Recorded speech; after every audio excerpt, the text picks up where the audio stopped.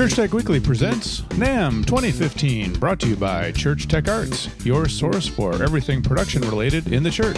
Visit our website at churchtecharts.org. All right, we've made our way over to the Shure booth at uh, NAMM 2015, and uh, this is something that's not necessarily uh, all completely relatable to our market, but it's kind of some cool stuff. The new Motiv line, which is a whole series of uh, ways to interface iOS devices with some really high quality microphones and audio. So we've got Thomas here to uh, tell us a little bit about it. It's a multiple products, so maybe just real quick, kind of high level, run us through the uh, the various products that you have here. Sure. Okay. Well, they've all got the same brains. It's a Motiv DSP engine that we've uh, been working on for the past two years. Basically allows you to do recording with USB or iOS with any one of these little devices we have over here.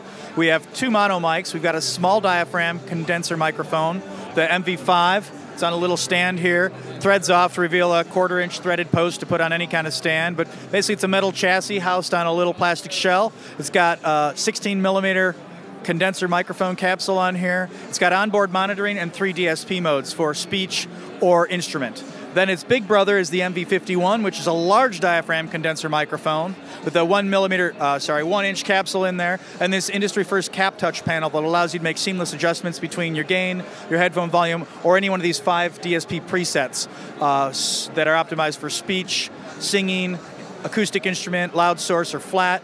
On the back, it's got the same headphone jack and micro USB out. Uh, and then that ships for 199 with a lightning and a USB cable.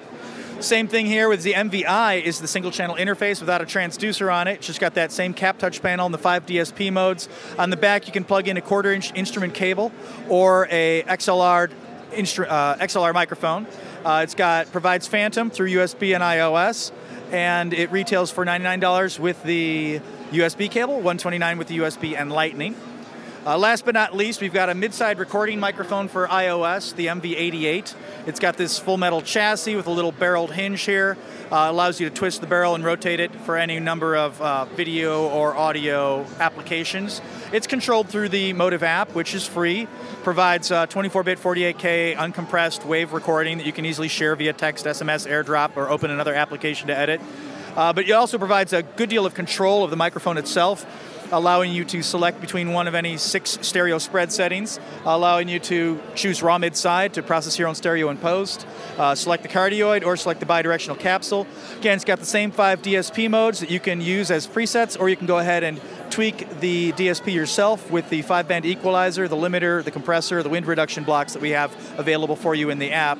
It ships uh, for 149 with a foam windscreen and a zippered carrying pouch.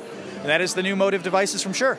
All right, very cool. And I got to hear some of the uh, recording that was done with this microphone yesterday, a multi-track recording, and it actually really sounds good for as small as that little uh, capsule is, and just recording into a phone, it sounds really, really good. So if you have a need for doing some portable recording, um, check out the Motiv line from Shure. This is all shipping when? Summer 2015. Okay, so in a few months, check it out at uh, shure.com.